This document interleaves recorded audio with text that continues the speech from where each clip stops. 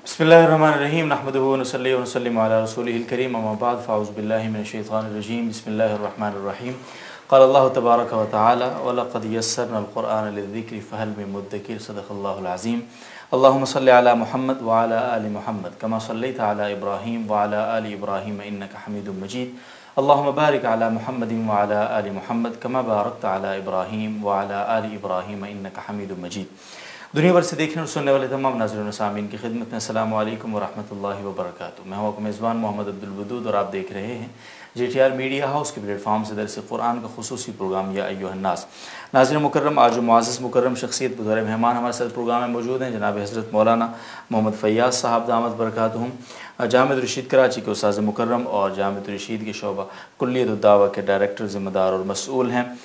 اور آپ کو معلوم ہے کہ درس قرآن کے سیگمنٹ میں جب ہمارے ساتھ موجود ہوتے ہیں تو ہمارا مرکزی موضوع ہوتا ہے قرآن مجید میں نماز کے متعلق جو ہمیں تعلیمات دی گئی ہیں، ان پر ہم بات کرتے ہیں کہ نماز قرآن کی روشنی میں اور ذیلی عنوانات کے تحت پھر مختلف چیزوں پر ہم وقتاً فوقتاً بات کرتے رہتے ہیں۔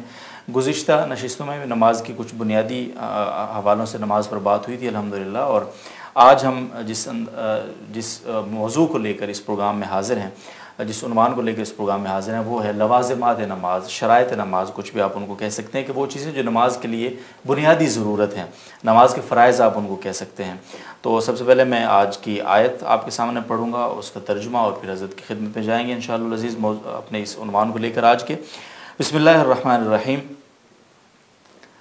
یا ایوہ الذین آمنوا اذا قمتم الى الصلاة فاغسلوا وجوہکم۔ اے ایمان والو، جب تم نماز کے لیے اٹھو تو اپنے چہرے اور کوہنیوں تک اپنے ہاتھ دھو لو۔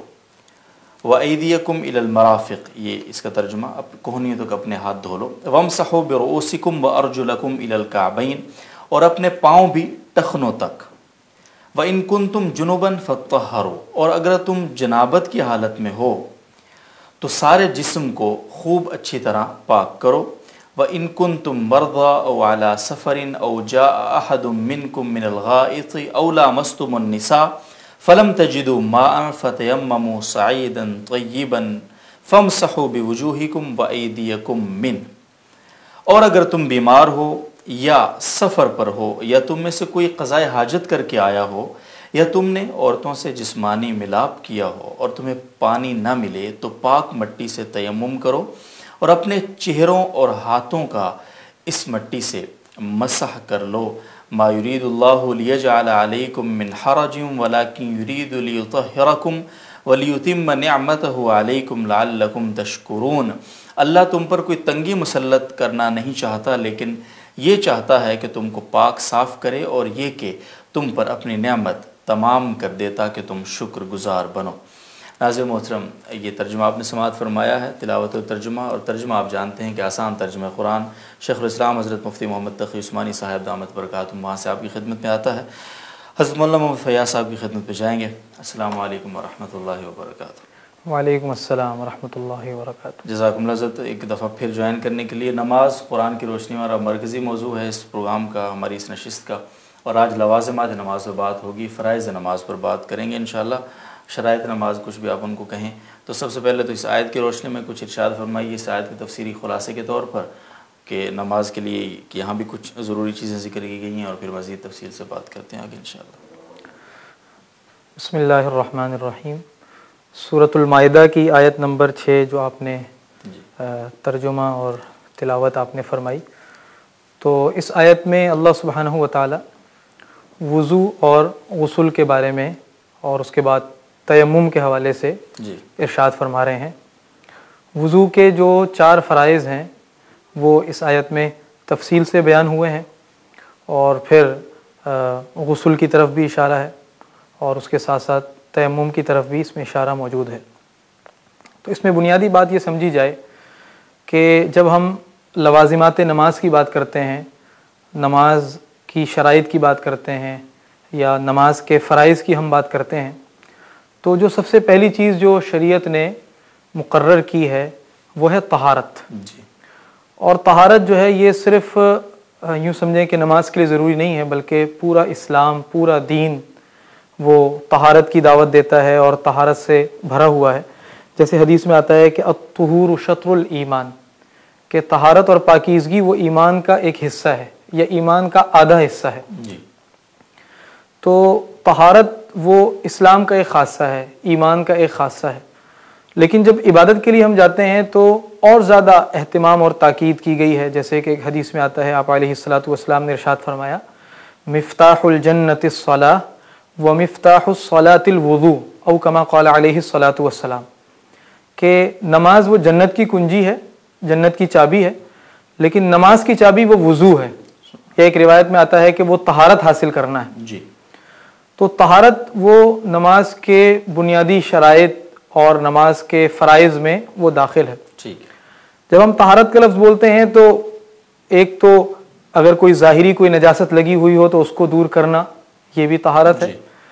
اسی طریقے سے کوئی ناپاکی کی حالت پیش آ گئی ہو انسان کو جیسے ہوا خارج ہو گئی یا جسم سے خون نکل گیا پیپ نکل گیا یا پیشاب پخانہ ہو گیا کوئی اور قضاء حاجت ہو گئی تو اس کو ہم حدث اصغر کہتے ہیں یعنی چھوٹی ناپاکی کی حالت اور وضو کے ذریعے سے اس کی پاکی ہو جاتی ہے۔ صحیح۔ اور کبھی ایسا ہوتا ہے کہ انسان کو حکمی نجاست وہ بڑی لاحق ہو جاتی ہے غسل کی حاجت اسے ہو جاتی ہے۔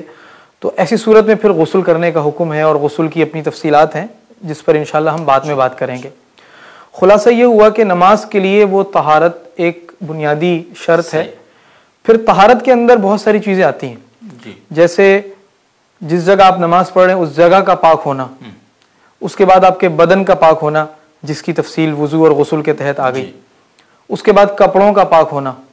یہ تین چیزیں جو ہیں وہ طہارت کے مفہوم میں داخل ہیں جب ہم نماز کی بات کرتے۔ ہیں۔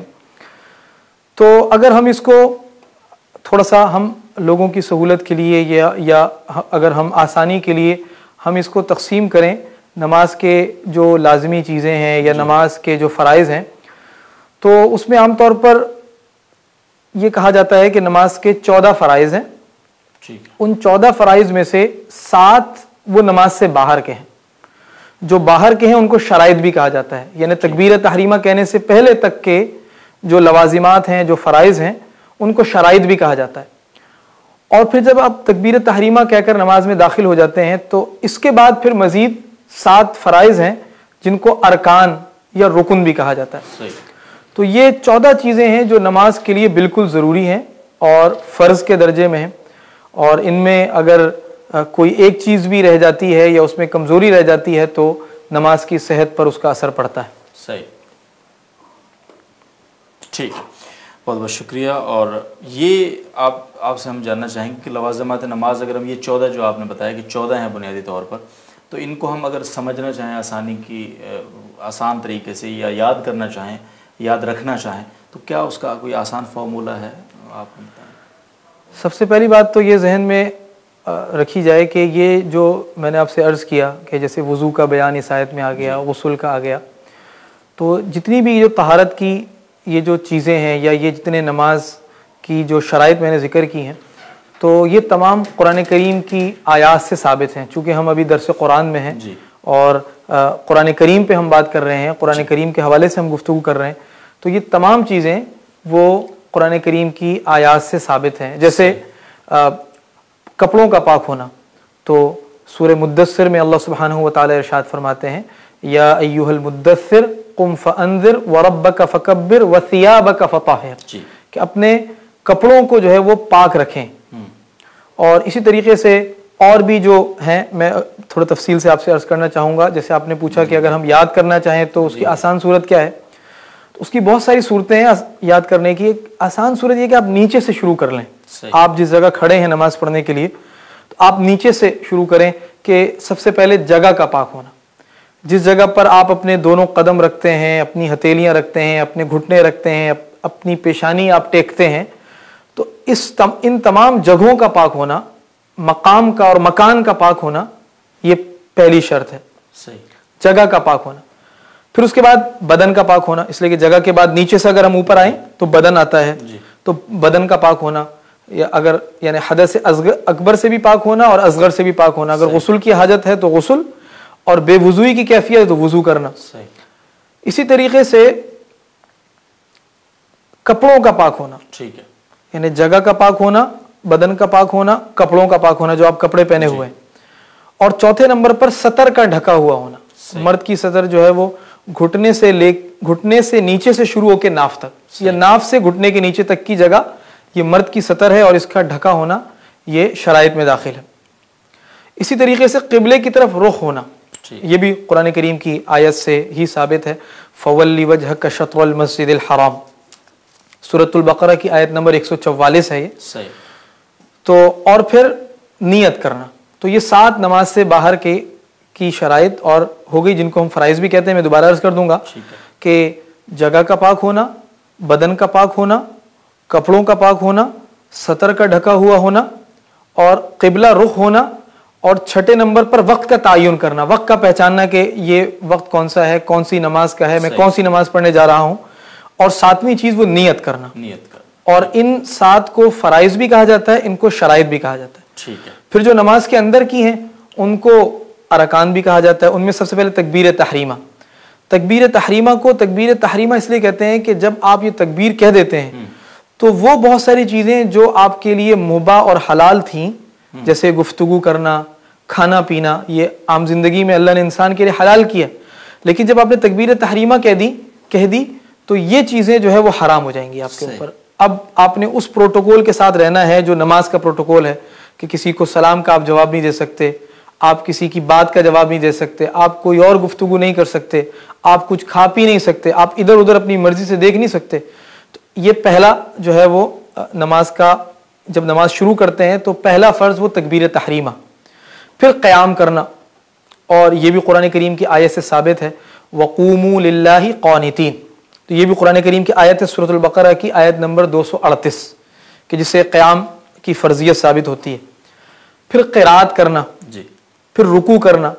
اور رکو کا حکم بھی قرآن کریم کی بہت سی آیات سے ثابت ہے۔ یا ایوہ الذین آمنوا رکعو اس طرح اور بہت ساری ایسی آیات ہیں۔ اور پھر دو سجدے کرنا۔ دوبارہ میں عرض کروں تکبیر تحریمہ قیام قرات رکو جی۔ دو سجدے اور آخری قادہ میں تشہد کے بقدر بیٹھنا۔ بیٹھنا۔ جب ہم دو رکعت والی نماز پڑھتے ہیں تو وہی آخری قاعدہ بھی ہے۔ ٹھیک ہے۔ لیکن جب ہم چار رکعت والی یا تین رکعت والی نماز پڑھتے ہیں تو اس میں جو پہلا قاعدہ ہے وہ تو قاعدہ اولا ہے جی۔ جس میں آپ دو رکعت کے بعد تشہد میں بیٹھتے جی، ہیں۔ جی۔ لیکن جو آخری قاعدہ ہے آخری تشہد ہے اس میں اتنی دیر بیٹھنا جتنی دیر تشہد پڑی جاتی ہے۔ تشہد کے بقدر بیٹھنا یہ نماز کے فرائض میں سے داخل ہے۔ اور ساتواں یہ کہ اپنے ارادے سے نماز کو ختم کرنا یعنی سلام پھیرنا۔ تو یہ کل چودہ چیزیں ہیں جو نماز کے فرائض میں شامل ہیں اور ان میں سے سات چیزیں پہلے ہیں اور سات چیزیں نماز کے بعد ہیں۔ اس کے علاوہ بھی نماز کے کی لوازمات میں سے اور ضروری چیزوں میں سے وہ واجبات ہیں۔ جی۔ جن کا جو جو نماز کے لیے بہت اہم ہے اور وہ بھی یعنی فرائض سے تھوڑا کم ان کا درجہ ہے لیکن یہ کہ وہ بھی نماز کے کی ضروری چیزوں میں ان کا شمار ہوتا ہے انشاءاللہ اس پر ہم اگلی نشست میں بات کریں گے۔ بہت بہت شکریہ حضرت مولانا محمد فیاض صاحب دامت برکاتہم اچھا یہ آپ نے ابھی ذکر فرمایا شرائط اور ارکان کا۔ تو بنیادی طور پر شرائط اور ارکان شرائط نماز یا ارکان نماز۔ اگر ان میں بات کریں بنیادی طور پر کچھ اور فرق ہے جو آپ واضح طور پر ہم کچھ واضح الفاظ میں آسان الفاظ میں بتا سکیں؟ دیکھیں شرط کہا جاتا ہے اس چیز کو کہ جو کسی بھی عمل کے کرنے سے پہلے وہ ضروری ہو۔ اچھا، یعنی اگر۔ شرط مفقود ہوگی شرط نہیں پائی جائے گی تو وہ عمل سرے سے منعقد ہی نہیں ہوگا وہ عمل سرے سے شروع ہی نہیں ہوگا۔ شروع ہی نہیں ہوگا یعنی یہ جو جتنی مثال کے طور پر ایک آدمی ایسا ہے کہ اس کو طہارت حاصل نہیں ہے۔ جی۔ وضو اس نے نہیں کیا یا غسل کی حاجت تھی غسل نہیں کیا۔ یہی کہ سطر اس کا نہیں ڈھکا ہوا۔ تو اب اگر وہ نماز شروع بھی کرنا چاہے گا تو نماز کا انعقاد ہی نہیں ہوگا اس لیے کہ جو صحیح، صحیح۔ شروع کی جو شرائط ہیں وہ مفقود ہیں۔ مفقود۔ شرط ہی نہیں پائی گئی صحیح۔ تو آگے جو مشروط چیز ہے وہ بھی نہیں پائی جائے گی۔ صحیح صحیح۔ جبکہ جو ارکان ہیں رکن کہتے ہیں کسی بھی چیز کی جو بنیادی چیز ہوتی ہے کسی بھی عمل کے اندر کی جو چیزیں ہوتی ہیں ان کو ارکان کہا جاتا ہے۔ جیسے ہم کہتے ہیں کہ اسلام کے ارکان ہیں اسلام جی، کے جی، بنیادی جی، ارکان۔ ہیں۔ تو رکن جو ہے وہ تکبیر تحریمہ کے بعد شروع ہو رہے ہیں۔ صحیح۔ ان کو ہم ارکان اس لیے کہہ رہے ہیں کہ وہ نماز کے بنیادی فرائض میں سے داخل ہیں۔ فرائض دونوں کو کہا جاتا ہے۔ ٹھیک ہے۔ لیکن ایک چونکہ تکبیر تحریمہ سے پہلے کی ہیں اور وہ شرائط کے درجے کی ہیں اور وہ اللہ تعالیٰ نے وہ اس کے ذریعے نماز کو مشروط قرار دیا ہے۔ طہارت ہو گئی سطر کا ڈھانکنا ہوا اسی طریقے سے قبلہ رخ ہوا اسی طریقے سے نیت کا کرنا ہوا وقت کا پہچاننا ہوا یہ تمام چیزیں۔ تو اس لیے ہم ان کو شرائط کہتے ہیں۔ صحیح۔ بہت بہت شکریہ۔ ناظر محترم، آپ نے سماعت فرمایا۔ آج کا ہمارا جو عنوان اس نشست کا لوازمات نماز، شرائط نماز یا فرائض نماز، کچھ بھی آپ ان کو نام دے سکتے ہیں۔ اور اس پر سیراصل گفتگو رہی۔ قرآن مجید کی آیت ایک سورہ ہے، سورہ معدہ اس کی آیت نمبر چھ آج کی آج کے گفتگو کے موضوع کے طور پر ہم نے شامل کی تھی۔ شروع کے پروگرام کے آغاز میں۔ اور پھر اس میں ڈیٹیل میں مزید بات صاحب سے آپ نے سنی ہے اور اور بھی آیات کا حوالہ انہوں نے دیا مختلف صورتوں سے، ماشاءاللہ، اور ریفرنس کے ساتھ باقاعدہ آیت نمبر بتا کر۔ تو امید کرتے ہیں کہ آپ کو آج کی اس نشست سے بہت فائدہ ہوا ہوگا اور خاص طور پر نماز کی فرائض یاد کرنے کے حوالے سے انہوں نے جو آسان فارمولہ بتایا، وہ بھی بہت مفید رہے گا انشاءاللہ العزیز ہم اللہ تعالیٰ سے یہ امید کرتے ہیں اور دعا کرتے ہیں کہ اللہ تعالیٰ ہمیں اس ساری گفتگو سے سمجھ کر بہت کچھ سمجھنے کی اور پھر اس پر عمل پیرا ہونے کی توفیق عطا فرمائے۔ اگلی نشست میں واجبات نماز پر بات ہوگی انشاءاللہ اور تب تک لیے آپ سے ہم اجازت چاہیں گے۔ اللہ حافظ۔